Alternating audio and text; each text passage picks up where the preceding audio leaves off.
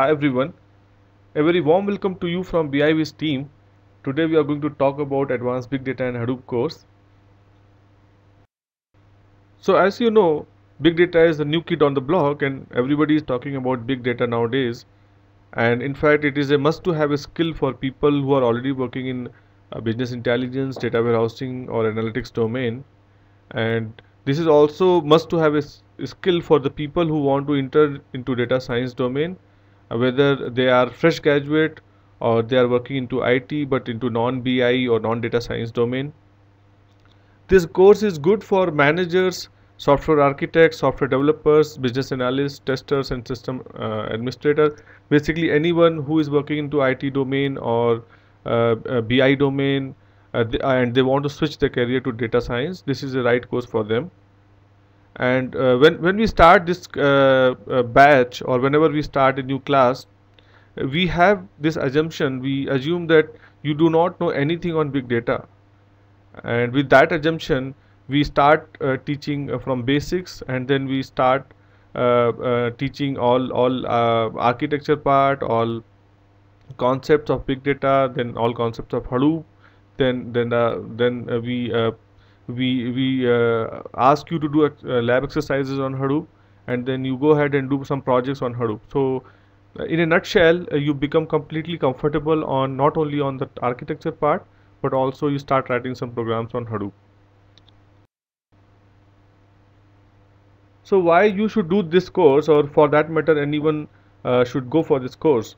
So uh, as you can see on the slide that there are a lot of job opportunities uh, available uh, in, in big data right now and as per a report from McKinsey uh, in 2011 there was a shortage of around 140,000 to 190,000 people in US alone who have this analytical talent and there is a shortage of 1.5 million people who can analyze the data right and there's another research from Winter Womens that uh, there, there was a 300% rise in the demand demand of data scientists and engineers after 2013 and uh, from another research we, we, we have conducted in Indian market there are around uh, 3000 published jobs on big data and Hadoop in India.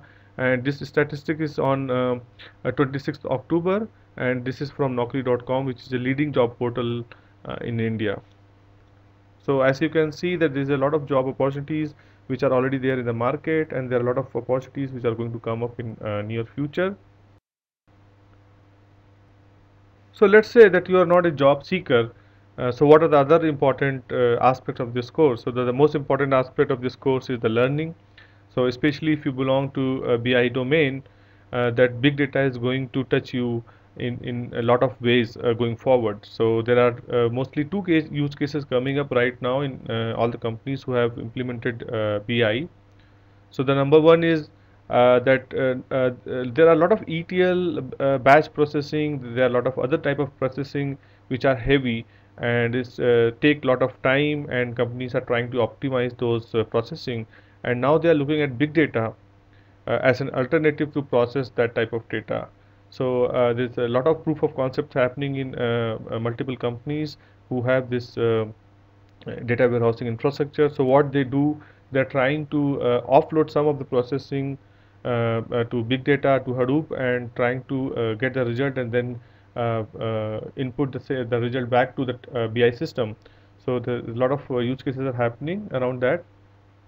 Then another use case uh, Uh, the, that uh, not only BI companies but uh, non-BI companies or uh, you know uh, um, teams who are working in BI or non-BI they are working on on this is that they're trying to tap the data which was earlier discarded. So for example they had website log data which was just stored for some time and then discarded uh, after some time and now they are thinking to tap that data they are thinking to process that data by using big data technologies and uh, make uh, make a good use of this data which is already available. So there's a lot of companies who want to tap uh, uh this type of data which was not used earlier.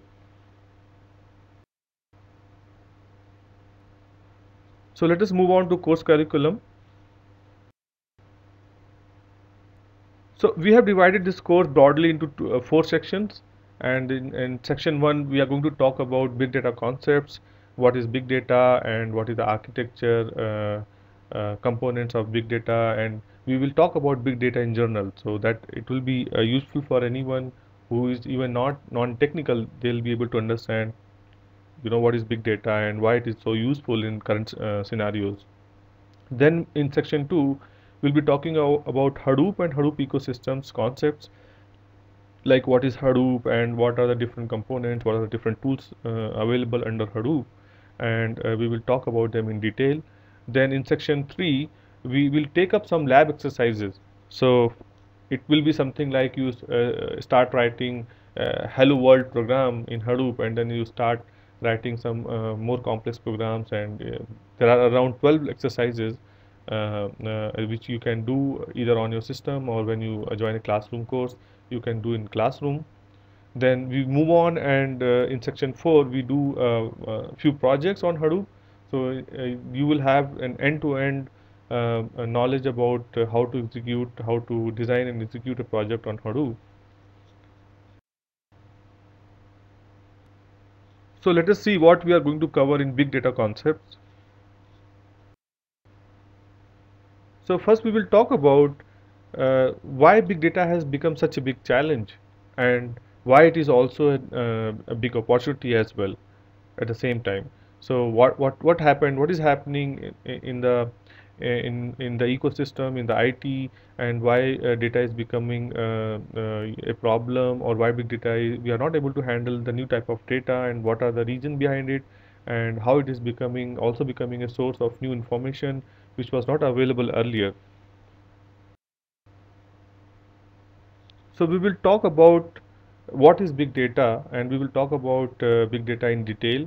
We will talk about how big data is evolved uh, from older technologies and uh, so that you will get a clear understanding of all uh, technologies associated with uh, big data and then we will also talk about how this uh, big data is different from RDBMS system. So, so far RDBMS are the most popular tools or most popular softwares to collect and analyze or store process the data but now big data is coming to the picture uh, with a special type of uh, database which are called NoSQL databases. So we will talk about uh, both of them together and find out what are the major differences.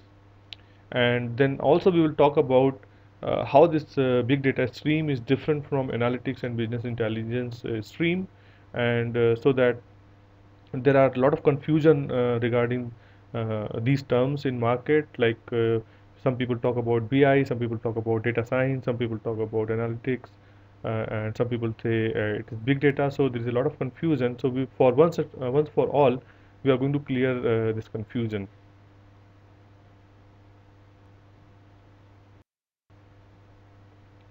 So we will talk about uh, big data as it is happening in science and research, as it is, uh, it is happening in government sectors, and it is happening in uh, private sector.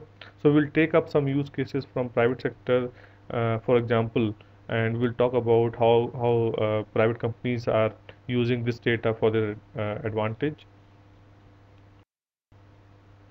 Then we will take some use cases for big data. Uh, so uh, uh, use cases like website clickstream data, we'll take a use case on sentiment data, we'll talk about geolocation data, server data and machine data. So for example, in geolocation data use case, um, we will talk about how, how a company done an experiment in its uh, uh, it's a retail company and they have a mall and what they have done is uh, they have asked all all people who are entering to mall to enable their Wi-Fi and they, they give uh, that Wi-Fi connection for free. And based on Wi-Fi connections based on the signals Wi-Fi signals they could analyze that you know where the most of the people are going. And based on that they have designed their mall uh, display systems they have designed the store uh, store display systems. So they have used this data uh, to uh, uh, you know optimize their space utilization. And they had to use big data technology Uh, to process uh, uh, this enormous amount of data. So there, there are use cases like this. There are other use cases some other use cases which are like how Facebook had uh, this uh, problem of having huge volume of data and how they uh, this problem by using big data technology.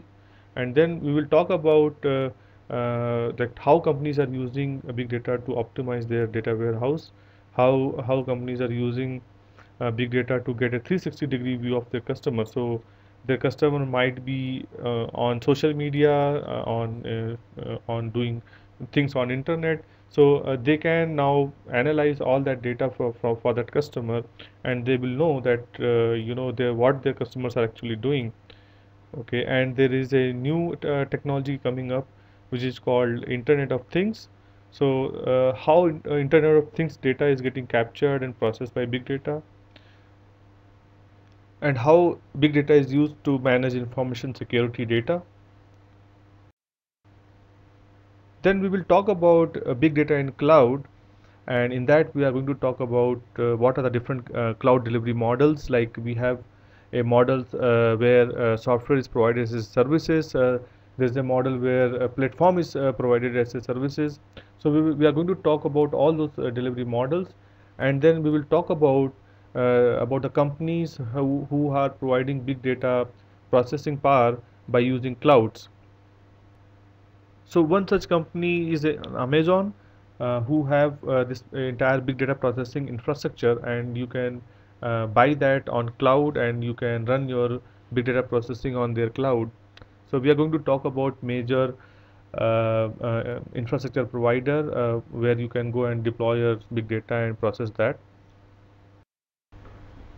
Then we are going to talk about the big data architecture and some core components or core uh, concepts or theorem about big data and uh, so one, one such theorem is called CAP theorem uh, which is basically uh, to deal with distributed systems and how we, we uh, design distributed systems. And uh, if you know about relational database management systems there we follow a particular uh, property which is called ACID property uh, but in in distributed systems we relax some of those properties like you know we do not want data to be available all the time. For example and uh, this theorem will cover that part. Another important uh, concept is map reduce. So which is something like a core core of the Hadoop system basically. And in that we are going to talk about how we break a problem into multiple components and how we run those components in parallel and then bring them back and create the uh, create a unified solution. So that will be a map reduce architecture we are also going to cover a layered approach for big data which is called a SMAQ uh, layer. In that uh, we have a, a, storage layer and map reduce layer and query layer. And there are a lot of new uh, components lot of new tools of open source softwares which are coming up uh, into SMAQ uh, layer. We will talk about those uh, components and tools. So next we will take up Hadoop and Hadoop ecosystem in this section we will talk about Hadoop. So what is Hadoop? How it got its name? We will talk about little bit of uh, its uh, history. We'll take up the Hadoop ecosystem and we will talk about uh, various components like HDFS, Hive, Pig, Oozie, Sqoop, Flume and uh, you know we'll talk uh, we'll give a brief introduction about all these components. So then we will talk about how Cloudera and Hortonworks is helping uh, Hadoop community and how they are making life easy for uh, Hadoop developers. Um, and these uh, two companies they provided their uh, graphical user interface on top of Hadoop layer. And you know and you can um, uh, uh, in fact they have provided some download sandbo uh, sandboxes as well. So you can download that and you can start working on that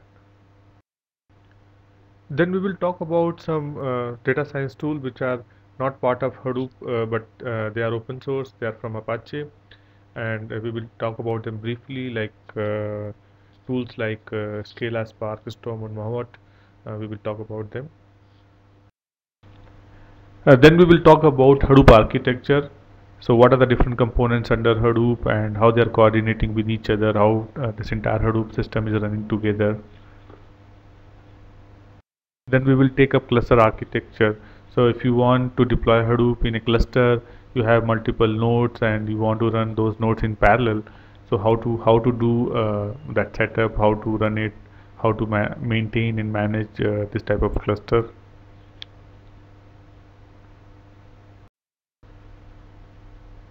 then we will take each Hadoop component and explain them one by one so we will begin with HDFS so what is HDFS how it is designed what is the block uh, what is what is name node what is data node how we execute commands on HDFS and, and about uh, Hadoop file system and we will talk about some commands which we can go and execute on HDFS and how to set up a Hadoop cluster. So how uh, how to define a uh, cluster specification how to do set, set up an installation how to do Hadoop configuration what are the security uh, features available. Then we will talk about data loading techniques. So two such techniques are flume and sqoop. And flume is used to load big amount of log data into Hadoop. And sqoop is uh, used to load data from relational database management system. And you can do uh, both. You can uh, load data from RDBMS to Hadoop or you can load data from Hadoop uh, back to RDBMS uh, using Sqoop. In this section we will talk about advanced MapReduce. So how to uh, create a MapReduce application, how to do configuration, how to test it, how to run it locally and how to deploy it on uh, cluster and uh, the most important is how to uh, decompose a problem into MapReduce jobs. Then we will talk about uh, the working of MapReduce that uh, we will talk about jobs like how to submit the jobs, how, what are the different uh, status of the jobs, how the jobs is initialized, how how uh, it is executed, how how you know that the job is completed and if there is a failure in the job how to track that how to schedule the job for batch processing so we will cover other, MapReduce topics like uh, types and formats MapReduce features. Uh, in this section we will take up pig and pig latin. So uh, pig latin is a script which you can write on top of HDFS system and uh, you can execute your uh, uh, task. You can you can create map reduce task and you can execute but uh, by using pig latin scripts. So we will be talking about installation and how to run the pig how to and uh, define the user functions how how different uh, data processing operation can be done on pig. And we will talk about some architectural component of it like how the parallelism is supported how the uh, how how can we compare it with uh, relational database management systems. In this section we will talk about hive and hiveql so hive is a, a, sql like layer on top of hdfs so uh, uh, if you compare it, uh, it with pig pig is a script language where you have to write all your operations but hive is something where you can write a sql like statement and internally it will be converted to MapReduce jobs. So you do not have to write MapReduce jobs, you just have to write uh, SQL uh, like query and it will be converted and will be uh, executed as MapReduce jobs. So we will talk about Hive architecture, we will talk about uh, how to install, how to run it, uh, how, how to do uh, various data processing, how to create a table using Hive, which will be on Hive platform how to query the data, how to define uh, various user functions. And then we, we will also cover, compare this with uh, traditional databases. In this section, we will talk about HBase. So HBase is a NoSQL database, which is uh, again on top of HDFS system. And we will talk about architecture, how the installation uh, is done, uh, the other client components. We will compare it uh, with RDBMS in this section we, we will talk about uh, zookeeper so what is zookeeper zookeeper is a centralized service which take care of all the configuration and all uh, uh, you know common details about the uh, entire hadoop ecosystem uh, and uh, you know how it it it manages to do it how how, how are the different components of zookeeper how to install and run zookeeper what are the various operations of zookeeper we will talk about all those uh, things in uh, this section In this section, we will discuss uh, the Oozie. Uh, Oozie is basically a workflow system uh, where you can uh, uh, keep all your jobs in a workflow like uh, structure and you can execute them, you, you can schedule them. So how to create a workflow, how to deploy it, how to run it. We'll talk about all those things in, in this section.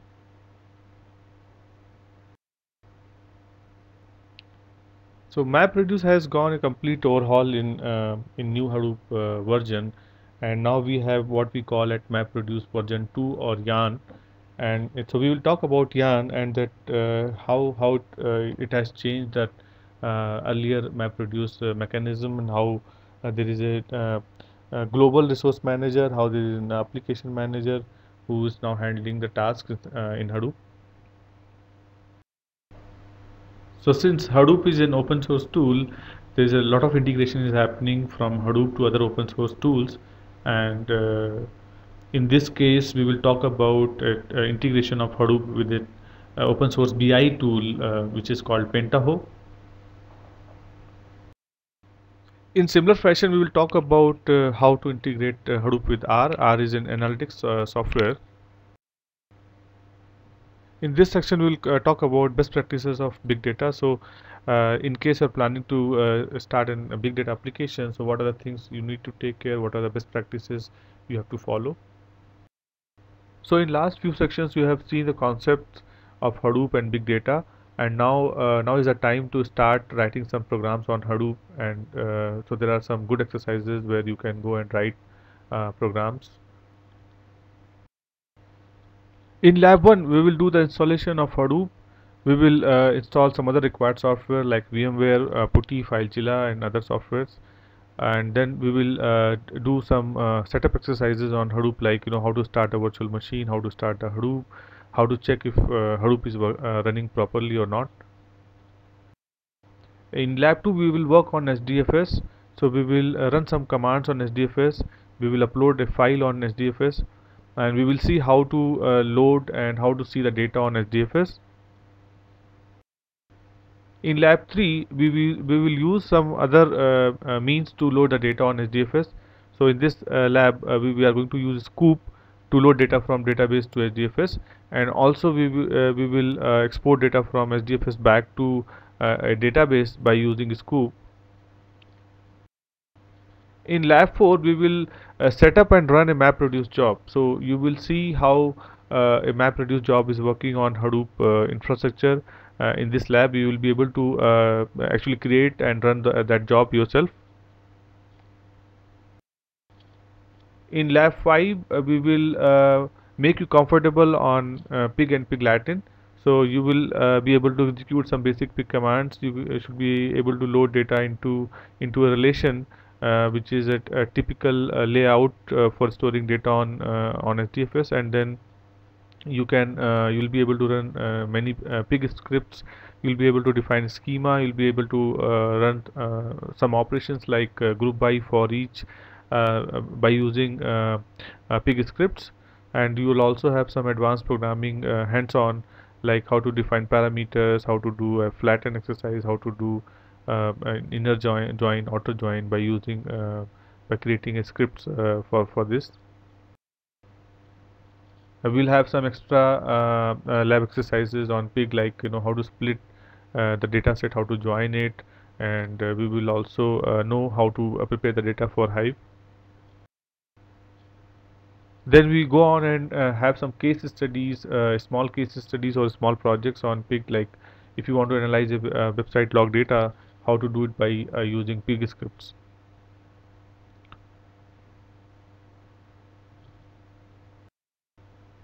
so uh, similarly there is another case study like you know if you want to uh, analyze the stock market data how you can do it by using pig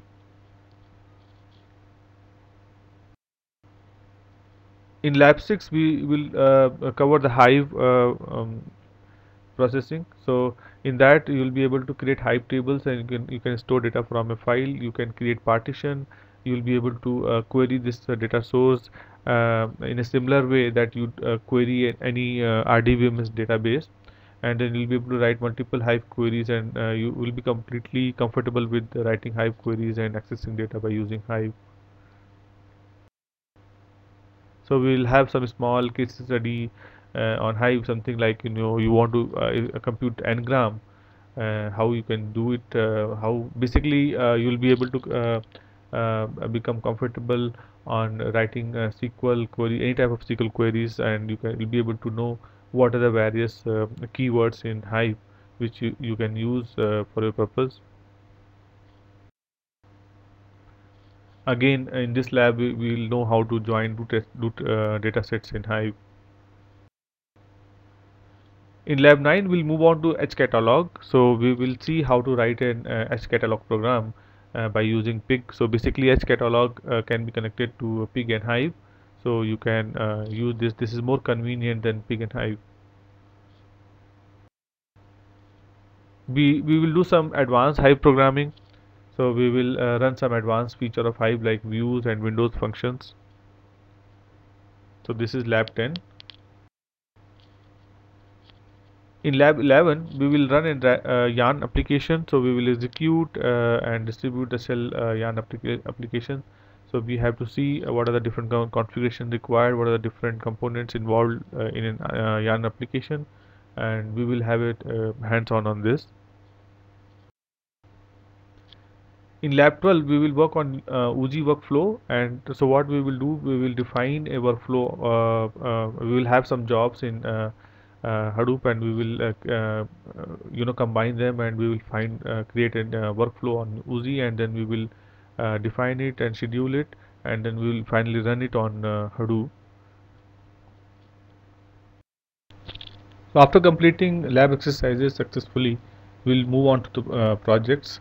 So we will take up two projects from real life uh, domain so project one is to collect, refine and analyze the sentiment data. Uh, we will uh, get this data from Twitter and we will try to uh, process it with using Hadoop and we'll find out some interesting statistics about this data. Then we will take uh, website clickstream data, uh, we'll uh, process it with using Hadoop and then we will also again find out some interesting statistics about this data like you know this data is uh, collected on uh, website logs and we will find out how much time a user is spending on on the website. So basically whatever analytics uh, uh, we call it a web analytics so that type of analytics we will do on this uh, in this data. So this is the project 2 so this was a brief overview of our big data and hadoop course. In case if you have any question you can call us or you can email us you can also see our website. We have published all all these details and other details as well. And hope uh, you like this uh, overview. Have a great day. Thanks a lot